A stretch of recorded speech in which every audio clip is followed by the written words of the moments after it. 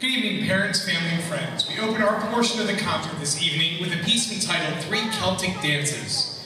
The piece is based on three different Scottish dance forms and explores a wide variety of Celtic styles using both authentic dance tunes and original material.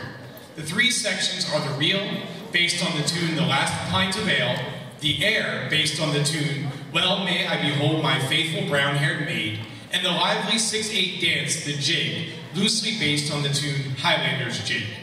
Soloists for this piece include Brittany Hurst on piccolo, Meredith Byrne on oboe, and Kyle Pritchard on alto saxophone.